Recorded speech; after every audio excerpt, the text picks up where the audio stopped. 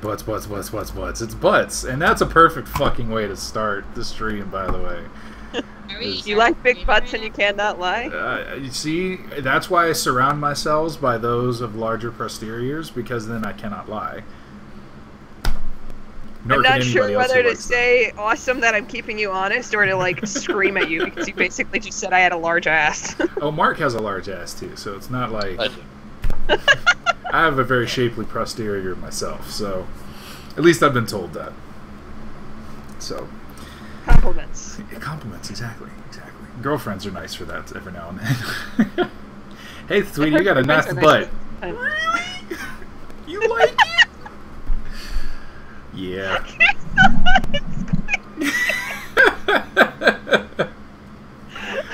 yeah, that's how it uh that's how it goes.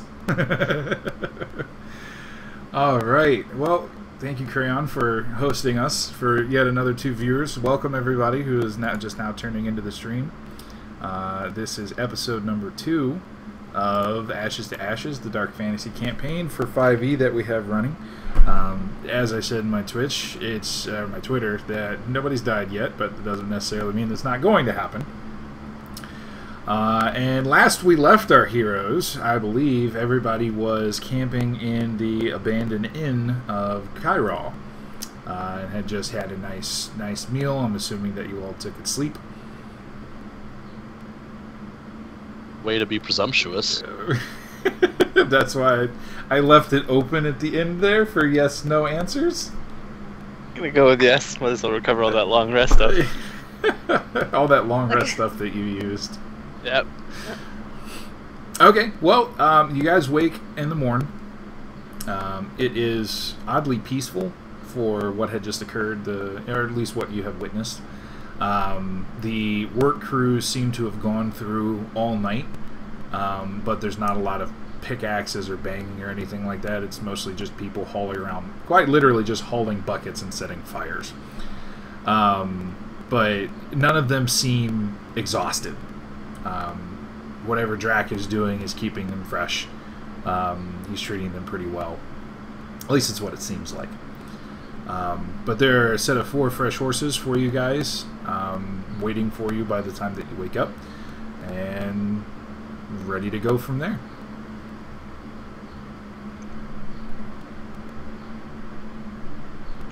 Cough. So I'm gonna wake up Okay. Yeah, I was I was going and to say uh, I don't know. I'm the oldest, right? I believe so, Malcolm. I, then I think it I think it only makes sense that by the time everybody else wakes up, I'm already sitting downstairs reading the uh, whatever the Lorness or Stromness equivalent of the paper is. Waiting for the waiting for all these youngins to wake up. uh, you would So it's most like a difference likely like six years. you would most likely have some sort of a pamphlet, uh, like those that Thomas Paine used to produce and Voltaire. Um, Nice. If only because you know it's a sh- it's not quite a novel. It's not quite you know a paper or an essay, but the print the the printed word is not super cheap yet. Like they haven't Okay. come up with the printing press, so pamphlets are probably what you carry one or two around if if you were to. Uh, just tucked in your bag. Does the pamphlet have like a page five? Does the pamphlet have a page five? Probably not. Thank you. Someone understood my joke. I was gonna say I'm I'm assuming this is a uh, this is a reference I'm not getting. Yeah, I'm, I totally went over my head. It's uh, in like the UK. I think it's the Sun. Page five has sexy ladies. Yeah, they have models. Oh, okay, yeah. I remember that from when I lived over there. It just completely went over the sexy girl on page four. I think they called it. Fuck. Okay, God, I haven't thought was about that in make forever. a joke, and I understand it fails, so you don't have to rub it. Uh, no, it will. It will continue to be rubbed in like a nice season on a steak. I will let that marinate Oh for a while. Jesus Christ! so, you guys, how how are you? What are you doing? What? How are you going about things? What's going on? Talk to me. Uh, well, I'm gonna blearily get up and probably check all my equipment, check all my gear, take down all my traps because I left my door open with all those traps set up. I did some uh, math meditation. Sorry. Okay. Sam Masked would probably. Sam would probably wake up, stretch, then head downstairs and start making breakfast. Yeah, I, I probably pack up my stuff and like go downstairs too. Okay. Well, you do have a, a little access to some fresh, uh, some fresh vegetables and um, eggs that were brought in recently. So omelets, Yeah, sounds like it. nice. Okay. I I'm going to verify that uh, the horses are ready for travel. I'm I'm sure somebody told me that they are, but I don't care. I'm still going to go out and verify it myself because you know I'm I'm sure they're doing the best they can, but I mean, you know how Some- it is. Sometimes little things get overlooked. Yeah, exactly. And I'd, I'd rather have control over that. um, I'm you going see. to be stretching. Okay. Um, Malcolm, you see uh, two or three stable boys, you know, kind of kind of milling around. Um, they're still bl- pretty bleary eyed from waking up, but th- you can tell that they're farm hands. Like they've been raised around animals, and it kind of looks like they know what they're doing. But I it's not going to stop you from doing it anyway. But No, no, not at all. um, I'm just going to I'm going to be a little bit more polite about it. So almost like I'm going to try to like kind of seem like I'm admiring the job they did, but in reality I'm looking for things they fucked up. can you make me a bluff check? Yes, I can. What's a bluff check? That'd be Uh, deception. Deception. Deception. Thank you. Yep. Mhm. Thank you. There, there are interpreters here for available. I'll for tell you searches. guys. I'll tell you guys a little secret about Malcolm. He's not a deceitful guy. he has no deception.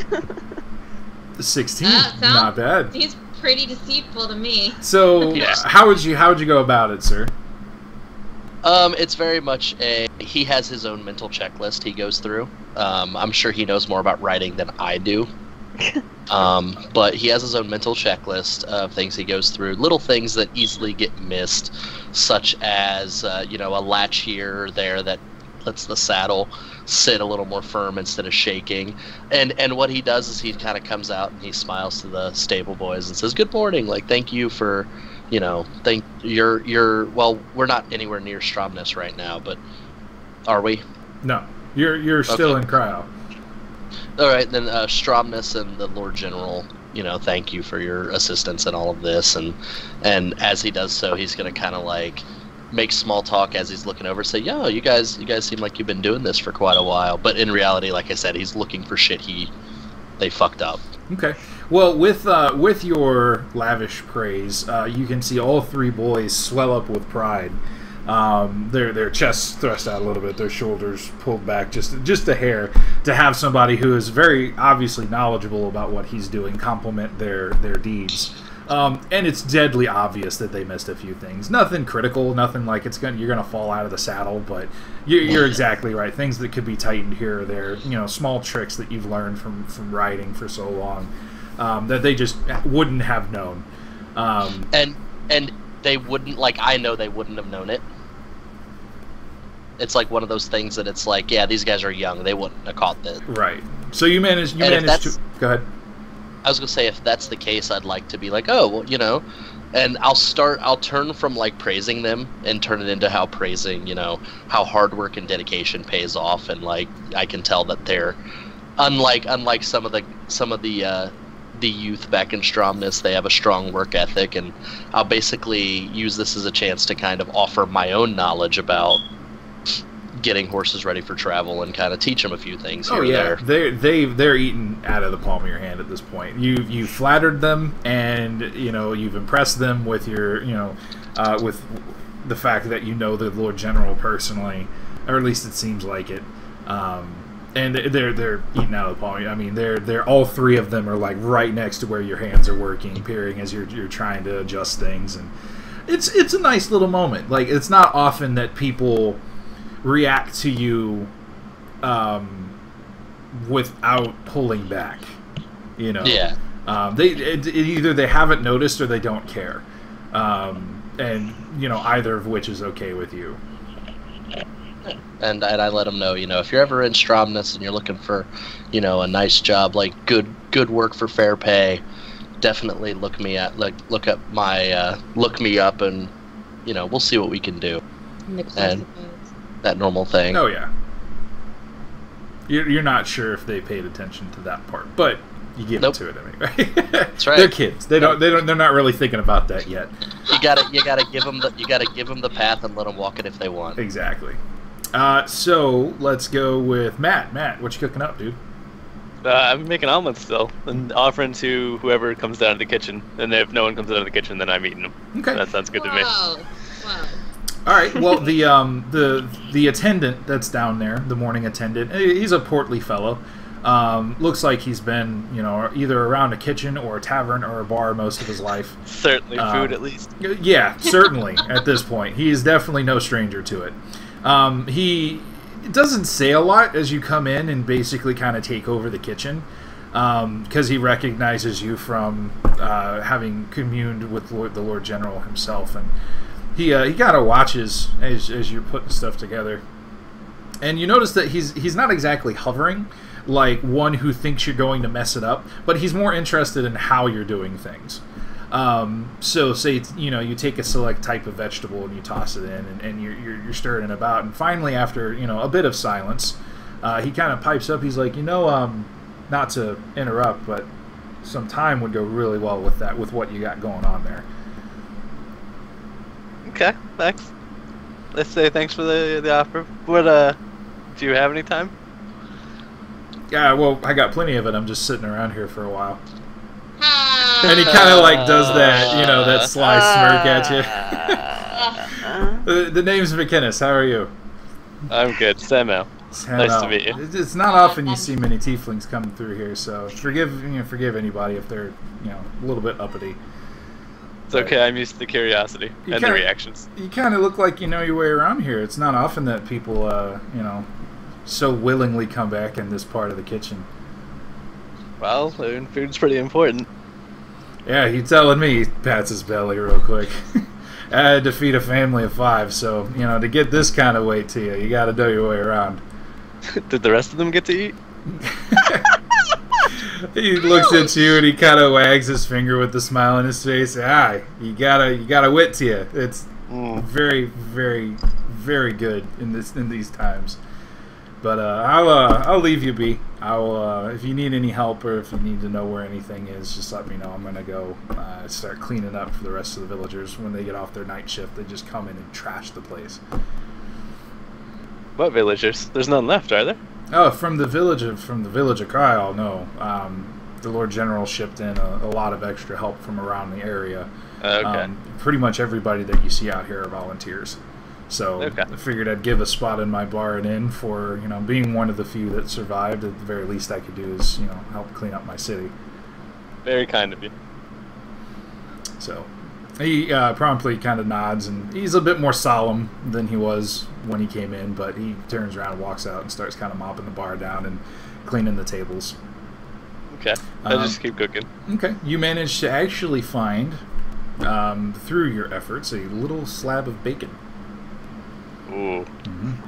So you got a little a little bit with which to cook up. Probably enough to feed all four, five of you if you're cooking for McKinnes. Yeah, sure. I guess we'll share. Okay. Um, so, Erin, Deanna, uh, you guys are you know doing your thing up in your rooms, and you smell the absolutely heavenly waft of bacon start floating up through the rooms. Oh, I already, I already came downstairs. Oh, did you? I thought you said you were stretching. I'm sorry. Yeah, downstairs. I'm stretching. I grabbed my stuff. So, uh, so, so you're stretching downstairs. Okay. Well, you again, you kind of smell it. You can't exactly see Samael, um, but you do kind of you get a very, very big nose full of what he's he's whipping up, and it smells amazing.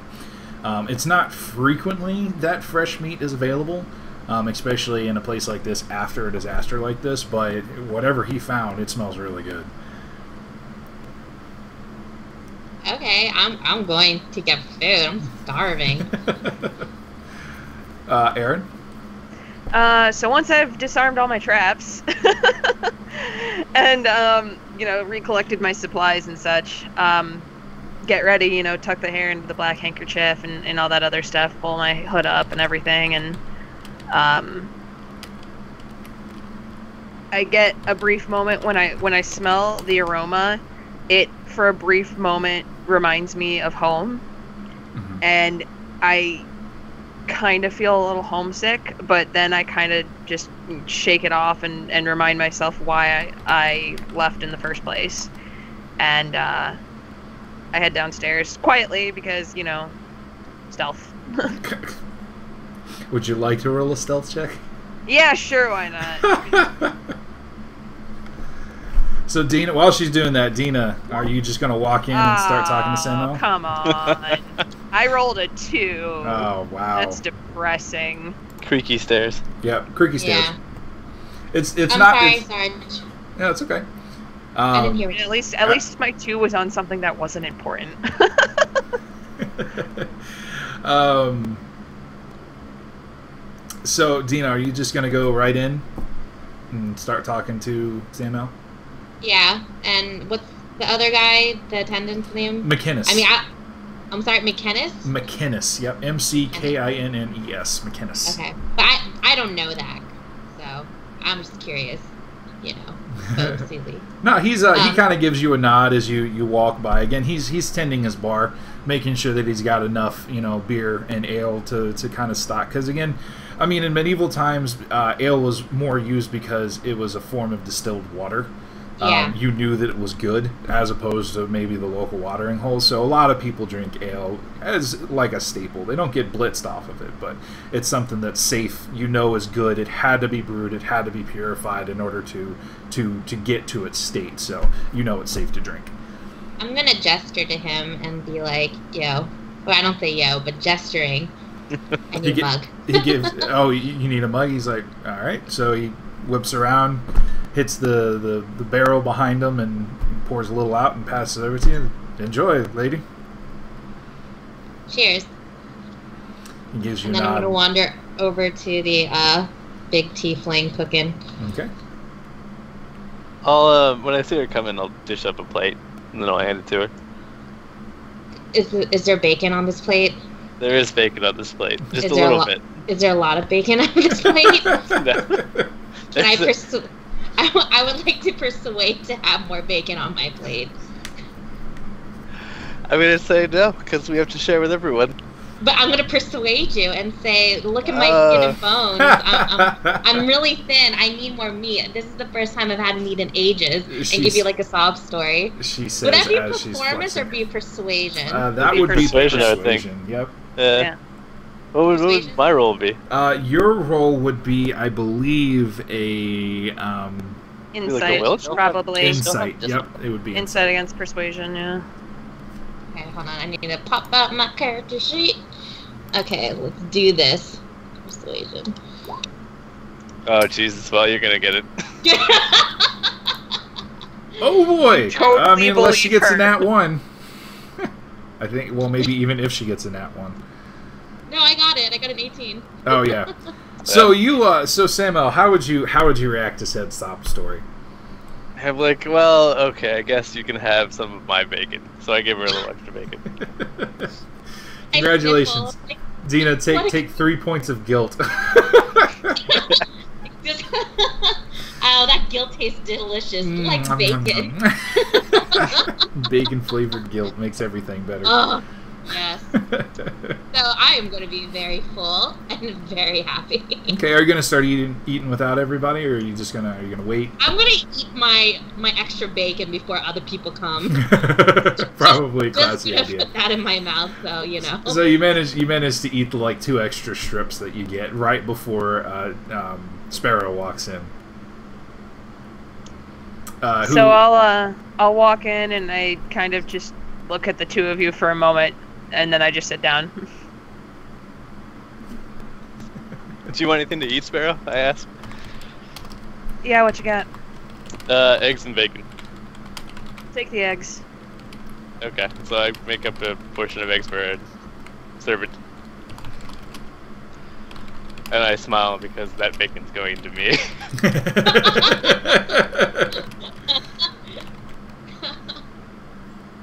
okay, um, Malcolm, you gonna you're gonna make your way back in now that Yeah. your preliminary checks are completed. Yes, um, that is exactly what I'm going to do. As I come in, I'm going to say, uh, Is there smells good? Is there any food left? I say, yep, and I serve a portion to him, some bacon, some eggs. And this is this is an omelet, right? Yeah, yeah. You're Malcolm is going to take the plate and he's going to set it in front of him. He's going to put the bacon on the omelet and fold it up and eat it like a taco. And with his mouth full, as he starts walking out the door, hurry up now. We don't have too much time left. Need to get running out of daylight, kids. So does that come out like? Yes, that's exactly what it comes out as. Old man. Uh, w- I'm gonna Sam make L. a side comment and be like, I don't think that's very noble to eat like that. and here and I with like the nice fork and spoon and like doing relatively With the- good manner. the pinkies up. Do you do you say it? Do you say it like loud enough for him to? Uh, I say it kind of like internally with the group, but if you want to hear it, you might. I- oh, it's. I mean, it's I- up to you. Deanna, He's I kind of he's glance over at you for a minute. I glance over a minute when you say it's not noble to eat like that, and I tell you that the first thing to go in old age is the manners. Can I give you like a uh, the nod of yes? Low table five. yeah, low table. I don't know what the medieval fantasy equivalent of that. If like the you know the eye nub wink kind of thing, I give you that. I could see that. Uh, Samael, are you going to dish? Is there anything left for McKinnes? Uh, yeah, I put a little plate on the side for him with a little bit of bacon on it. Oh, much appreciated. I really uh, didn't know what I was going to be getting today. Well, you know, your kitchen. You're some. Uh, oh, before I leave though, I want to talk to the mechanist and be like, "Hey, can you fill this?" And then it'll be my uh, my water skin. I want to fill it with beer or I ale. don't think that's the wisest, but if, I, if you want to. Yep, put it in. All right, so he fills it up with. Uh, generally, there is an ale skin that is Oh, carried with. Generally, um, again, just in case. Um, sometimes it might be a bit stronger with the medical provisions uh, as a type of sterilization, but again, it totally depends on what's being carried. Um, so in this case, he'll probably fill it up for you. It's it's not the best ever. In fact, it's probably not even in the halfway best, but it's clean. That's Okay. about what you can give for it. If anything, I know I'm not gonna die from dirty water. Exactly. Okay, so you guys I assume that you're gonna chow down and head out. I'm very careful while I eat to kind of keep as much of my face covered as possible. So I'll tilt my kind of chin down so that the the hood kind of hides part of it while I eat, and I eat very quickly, kind of almost like a sparrow does. Have you been By slapping your face been, into the uh, plate? relatively hidden this whole entire time? Yeah. Okay, just curious. she does not. It's the job, and she does not trust you. Okay. Therefore, Therefore, it's I uh, I eat pretty quickly and then throw my dish in the sink and wander out. Well, whatever if there's a sink or wherever he washes the dishes at, and then I wander out to look at the horses. He puts it in the dishwasher. I will. I will have chosen the second, uh, the second largest slash strongest looking horse for my own. Uh, I guess I'll choose like a nimble looking one. I'm looking for the largest horse since I'm gonna Yeah. be wearing. Exactly. That was that was my exact thought.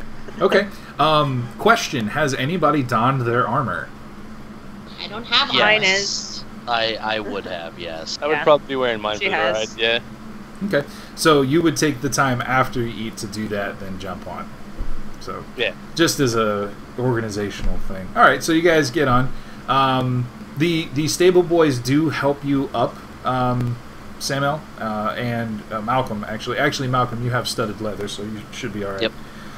And then uh, Sparrow has also leather armor, if I'm correct. Can I do like a fancy acrobatic way to get onto the horse to impress everybody? Oh, make a roll. Come on, Make a roll. Come on, one. I would like a acrobatics check, please. I Yeah. feel Sparrow- like I'm myself. Uh, oh, thank God, it's Uh, fucking eleven. Oh, it's gonna get so cold and it's gonna be so nice. All right, so yeah, no, you absolutely can. Um, how, what would you like to do? Nothing too extreme because it's still an eleven, but how would you how would you like to mount your horse? well. okay, I shouldn't just be suggestive. That's kind of awkward. uh, I would just, I'll just run up to the horse and then kind of do like a cool like jump and kind of you know how like gymnasts use like the horse vault, kind of do the and Oh, then okay. land on the horse. horse, but not Nice. Like cartwheels and stuff. Just like instead of everyone going into the stirrup and pulling themselves up, I'm like, ha! You quite literally just leap the horse, half the horse in a single bound. Yeah. Okay. Every- Yep, yep. Everybody else, you have your placards ready, guys, because you are the judges for this one. Like, Yes. Okay. I'm, I'm- more more importantly, I'm trying to impress the stable boys. interesting. Oh God. I'm, they're kids. Ew, gross. I'm just, you know, like I'm trying to entertain. That's what I do. Okay, so I guess now would be a good time to check uh, who has animal handling. Not well. I mean, Uh, I don't. like. I have it in terms of the fact of that it was based off of wisdom, so I I do have a couple of points there. But Sparrow's never ridden a horse before, and most animals just kind of are like, they sniff her and then they wander away. They just don't like her. Okay. It actually now frustrates me that I don't have animal handling.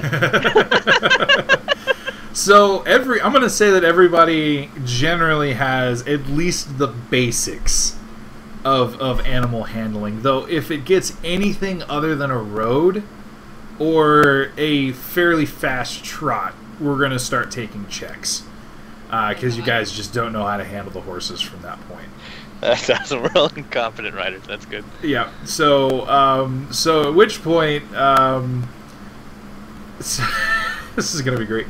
So you guys, you guys head off. Uh, you give the the quick clicks and ride off, and um, your horses aren't exactly the most obedient horses, but you're also not exactly giving the best of signals.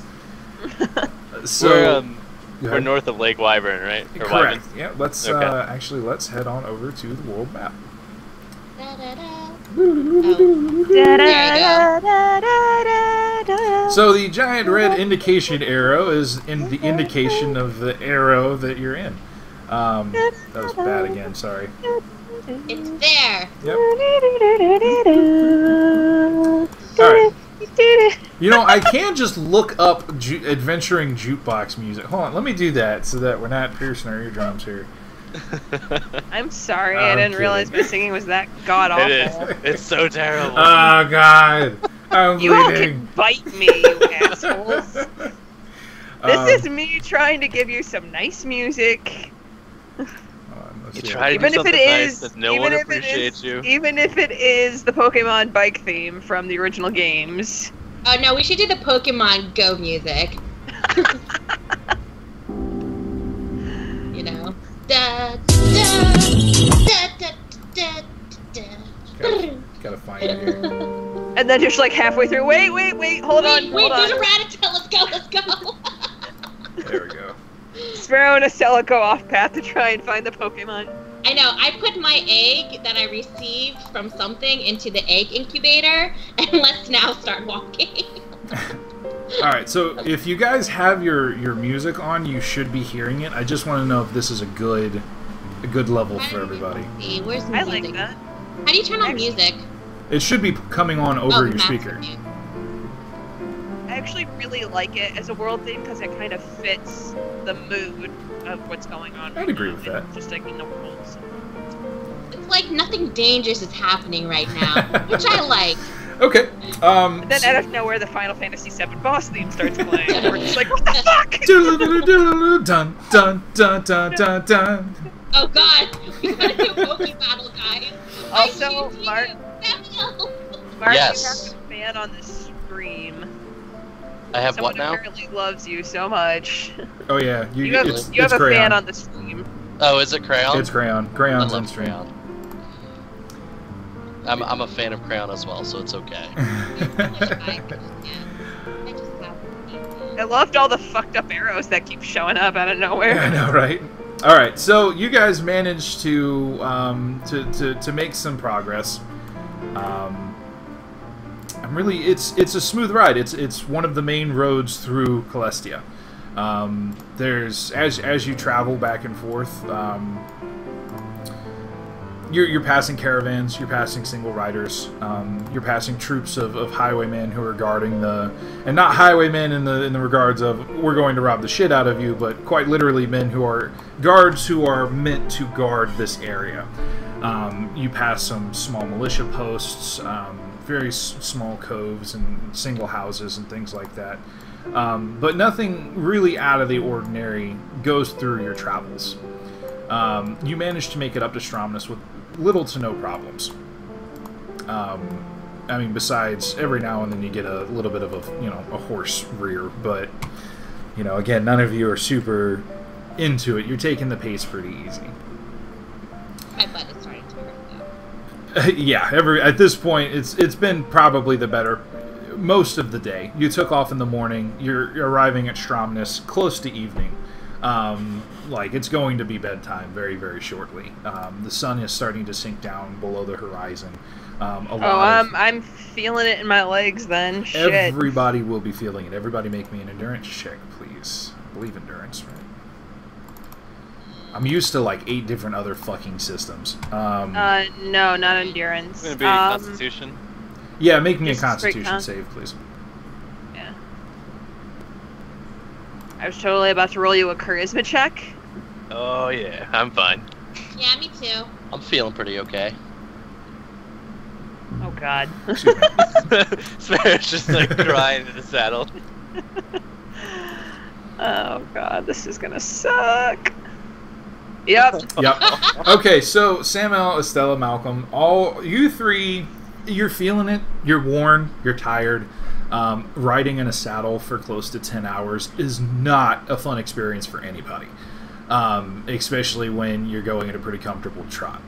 Um, your legs are burning, but it's it's something that you've known, just maybe not as thoroughly as you're knowing it now.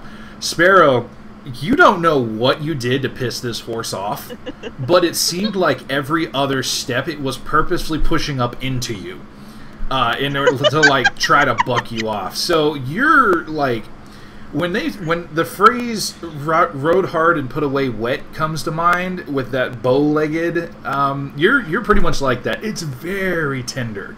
Um, anything relating to, I'm going to say, uh, anything relating to your moving your lower legs uh, in a very exuberant manner, you're going to be taking a disadvantage on for the Noted. moment.